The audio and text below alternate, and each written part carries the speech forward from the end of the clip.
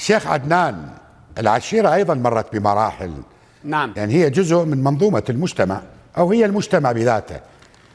تلاحظ أنه قبل يقول لك قال الشيخ مسيطر على ربعه مسيطر على جماعته كان أكو احترام. الآن يبدو لي أو يبدو لك هل أنه سطوة أو قدرة شيخ العشيرة على ربعه أو على أفخاذه بدأت تقل؟ الولد لازم الواتساب ويفتر ويشوف بالانستغرام والعالم ماخذ رايح شكل. يقول لك يابا يا شيخ يا عشيرة تعال شوف الدنيا وين صايرة. ضعفت هذه المنظومة أو العلاقة بين أبناء العشيرة الواحدة وقدرة الشيخ على السيطرة. أستاذ نجم هذا الموضوع إذا تعطيني مساحة أتكلم به. نعم. آه، آه، العشيرة آه، عدة مراحل. العشيرة ما قبل الدولة والعشيرة أثناء العهد الملكي والعشيرة في العهود الجمهورية والعشيرة ما بعد سقوط نظام صدام حسين. كل مرحلة لها ظروفها ولها وضعها ولها شو اسمه سماتها. قبل ال... بالدو... قبل الدولة الملكية يعني بايام الدولة العثمانية كانت القبائل آه، غير مستقرة وكان حروب بين القبائل وهجوم ومعارك عنيفة. فكانت القبائل كلها متوحدة لأن هنالك دائما خطر عسكري يهددها. نعم. فلذلك تشوف الشيخ مسيطر والعشيرة متماسكة للظروف الموضوعية اللي كان في ذلك الوقت. بعد النظام الملكي لا. النظام الملكي وطن العشائر وزع عليهم الأراضي وأصبحت كل عشيرة عندها ديرة وعشيرة وبدأ الاقتصاد ينتعش وبدأت الزراعة تنتعش وبدأ الشيخ يقوى ويصير عنده حاصل كبير وبدأ يسيطر على عشيرته وصلاحيات واسعة الدولة أكو يملك وأكو لا اسمح لي أنا ما أحكي على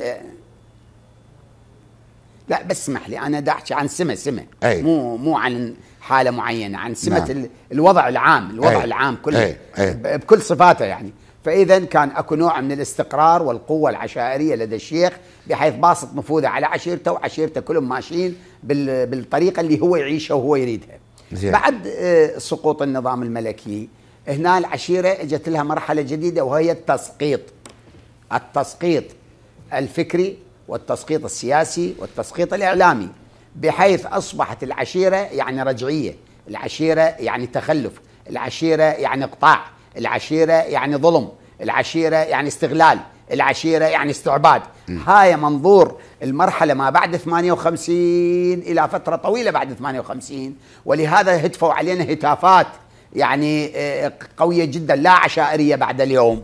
آه، الروح العشائرية روح مقيتة. الشغلة والإعلام كله على هذا الموضوع في سبيل يفتتون هاي الروح العشائرية بالمجتمع العراقي ويدمروها جي. حتى وصلت مرحلة إذا تتذكر يعني مثلا مدينة الصدر اللي كان يسموها الثورة اللي كانت ناحية تابعة إلى قبائل اعظميه أول آه، ما أجوا البعثين سنة 1968 خلوا عليها مدير ناحية بالبداية وبعدين صار قام مقام اسمه مسلم الجبوري مسلم أي. الجبوري هدفه من المجيء إلى مدينة الثورة تفتيت الروح العشائرية بالمدينة وتدميرها. هذا الهدف مالته ما عنده غير هدف. يعني زي. هدفه كل هذا. استعجل لي شيخنا الوقت قليل. طاحنة على العشائرية. آسف جدا.